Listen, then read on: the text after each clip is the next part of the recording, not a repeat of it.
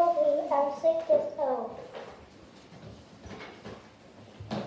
Today, um,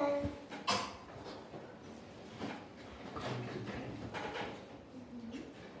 oh, Ginger goes to school. It's hot and sunny today. Mm-hmm. Ginger is sad. Mm-hmm.